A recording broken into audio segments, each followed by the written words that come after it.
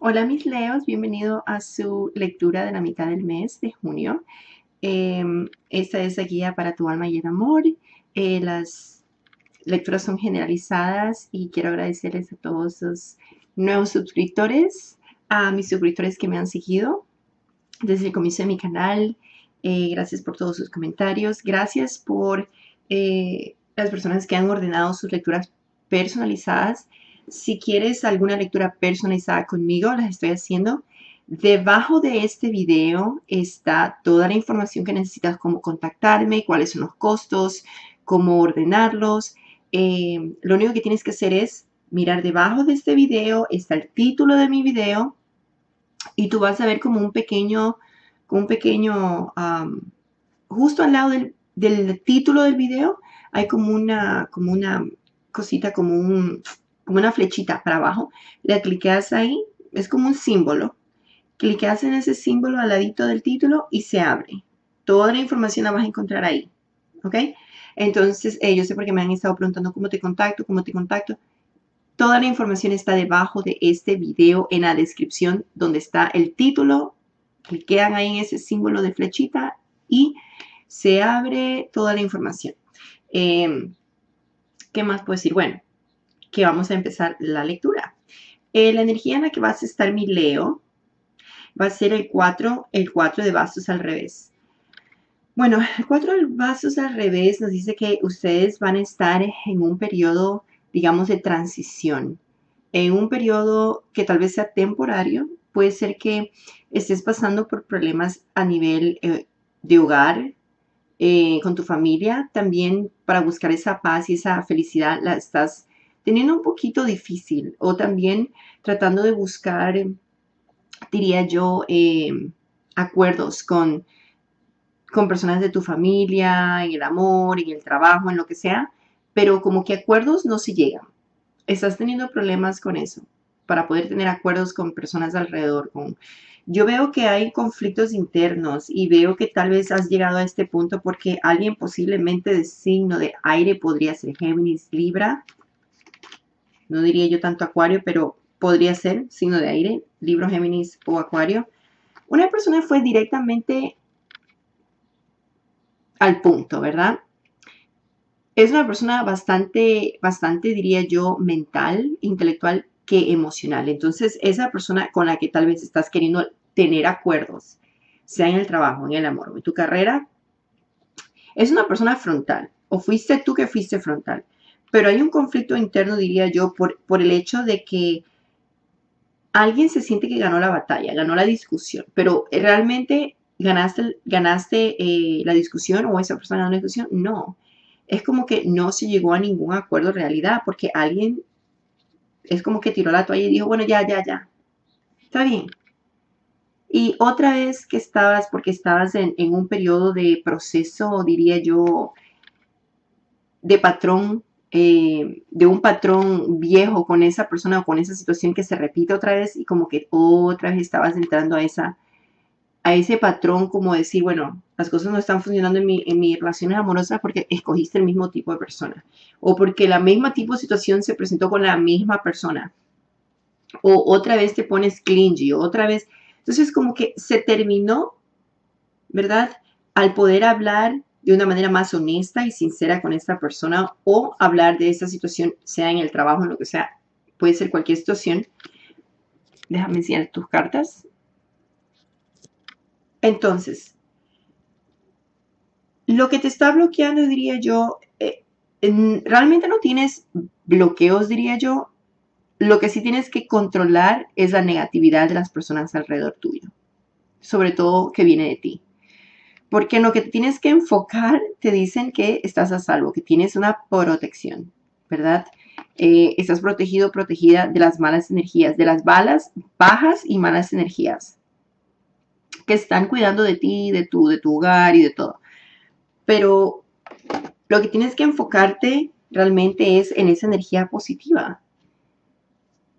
Enfócate en saber que estás protegido, protegida y, y eh, lo único que te dicen sí, que el bloqueo que tienes sí puede ser algún problema que estés encontrando ahora cerca del futuro que va a venir a la vuelta de la esquina, tal vez eh, si no la tienes ahora, puede ser que recibas noticias. Una cosa es que esta, esta, una cosa que tengo que decir también, que el 4 de bases al revés también puede decir que problema de transición también que estás lidiando con personas o problemas ajenos de otras personas que no son tuyas. Por ejemplo, el nacimiento de un niño o de una niña o nuevas oportunidades de negocio, sea tuyo o de otra persona, porque nos habla de acuerdos. Entonces, eh, parece que estás todavía lidiando con los acuerdos, sea en negocios o tal vez, pues, o tú estás dando a luz o una amiga o una amiga está pasando por este problema con su pareja y tú estás en el medio. O sea, ponlo en tu situación, porque cuatro cosas al revés también significa lidiar con los problemas ajenos de otras personas en el que terminas en el medio. Entonces, tiene que ver sí con, con nacimientos o con nuevo negocio, oportunidades de nuevo negocio que puede ser que haya unos problemas, por eso el, el dedito está señalando que justamente puede ser problema con eso. Con un nuevo nacimiento o posiblemente pues que alguien no quería salir embarazado, alguien no quiere el bebé o no sé qué mismo es, pero tú ponlo a tu situación cómo lo ves y cómo lo ves ese problema, cuál es lo que tú puedes ver que viene. Tu lección, te salieron dos cartas por la lección que estás pasando es la tarántula y la tortuga. Bueno, estaba sacando una, pero vinieron las dos pegadas, o sea, imagínate. Entonces nos habla de tomar o priorizar, tomar, eh, tomar decisiones y priorizar en cuanto a lo que tú quieres, cuál es el propósito de tu vida. Eso es lo que estás tratando de, de aprender, es priorizar. Recuerda que tal vez estés lidiando con problemas ajenos. Entonces, ¿Cuál es el propósito de tu vida? También eh, nos habla de perseverancia, paciencia, control personal, em, control de razonamiento, aprendizaje. Entonces, hoy, y la ausencia de, de, y la ausencia de coraje, de negatividad, ¿no? Y la tortuga nos habla de paciencia en cierta manera, pero nos habla más la tortuga nos habla más de las experiencias, las experiencias que has colocado en tu vida, ¿verdad? Y, cómo, ser, cómo ser más aventurado, aventurada y productivo y productiva. Entonces, mis leos, lo que ustedes están tratando de aprender o que, lo que les están empujando a aprender con este tipo de situación por la que están pasando es obviamente a ser más aventurado o aventurada, a ser más productivos, a usar el razonamiento, eh, pero, pero de verdad mirar muy dentro de ti cuál es ese propósito, cómo debes prioridad, prioridad, pero, prioridad, ay, ¿cómo diría? Cómo tienes que priorizar eh, las situaciones en tu vida, ¿verdad? Sobre todo en el amor, en el trabajo. ¿Qué es la prioridad que tú tienes en ese, en ese sentido, en esa situación, ahora, ¿verdad? Entonces, son cosas que estás lidiando y tienes que aprender a escoger bien. ¿Qué es lo más importante para ti? ¿Verdad? Primero está mi casa, mi dinero, mi trabajo, mis hijos, lo que sea. Aprender a, tener esas prioridades en tu lista, ¿verdad?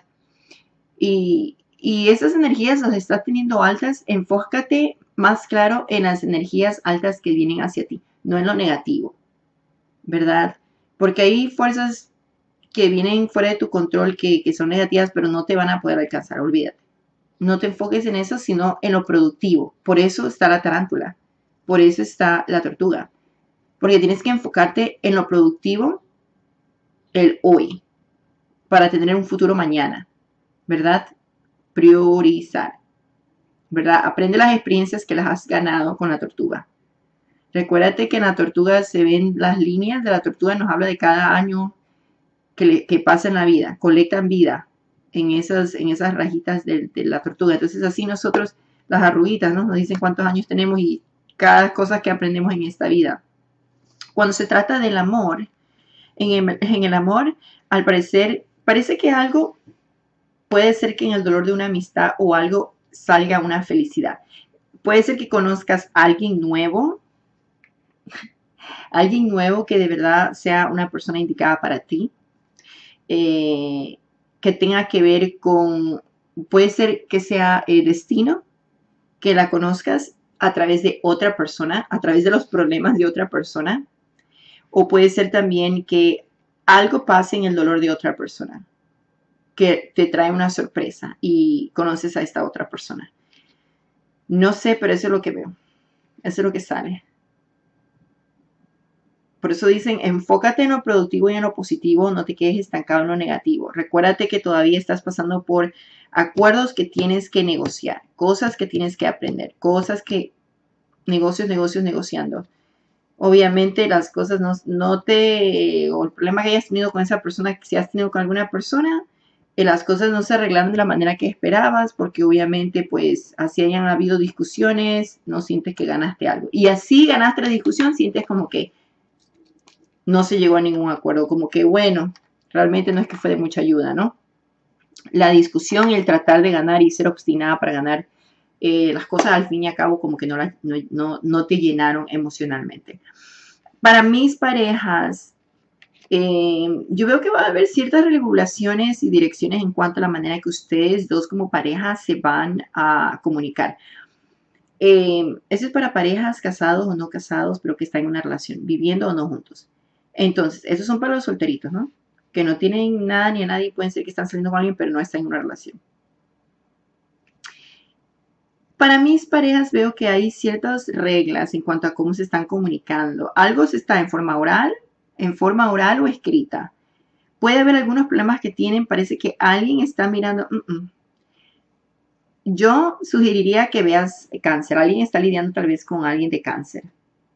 Porque las cartas me están hablando también de que alguien está teniendo ciertas reglas o complicaciones y se siente aislado porque alguien tiene en su cabeza que hay alguien más en la relación o que hay que hay alguien que se está comunicando con otra persona o con tu pareja o tu pareja piensa que tú estás comunicándote con otra persona o cosas así.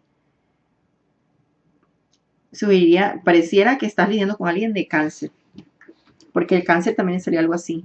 Eh, y también nos está hablando precisamente que las cosas se llegan a solucionar, la, única manera de solucionar tal vez es abrirte.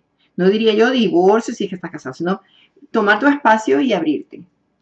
Que la separación posiblemente arregle más las situaciones y, obviamente se llega a una solución más concreta, eh, pero hay que comunicarse, eso sí. Hay que comunicarse, ¿verdad? Tal vez estás priorizando más en tu vida amorosa y no con tus hijos o tu hogar. O Tiene algo que ver con esta carta de la tarántula. Algo con priorizar las cosas. Em, también habla de derechos o de conductas, de conductas, digamos, en forma moral, ¿verdad? ¿Cuáles son las apropiadas? ¿Cuáles son las conductas apropiadas para ti? Eso es lo que, está, es lo que estás aprendiendo con la tarántula, a moverte, a tener una conducta más apropiada, ¿verdad? A tener más paciencia, más perseverancia, control personal sobre las cosas con las que estás lidiando. Así que bueno, mis leos, espero les haya ayudado. Es corto pero conciso. Les mando un beso, mucho amor, mucha luz y los veo en el mes de julio. Chao.